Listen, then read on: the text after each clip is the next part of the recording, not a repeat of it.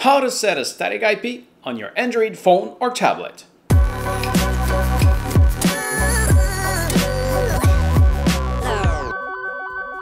Swipe your finger from top to bottom, hold the Wi-Fi logo, hold your network, go in Modify Network Config, click on Show Advanced Options, swipe up to IP settings and set it to static.